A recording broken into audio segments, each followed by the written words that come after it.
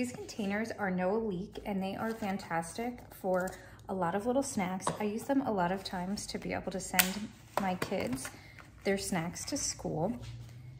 I love that they hold the perfect amount of fruit or dipping sauce or whatever you may need. They're dishwasher safe. These containers work really well.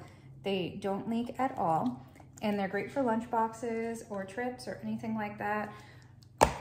And I definitely recommend these little containers.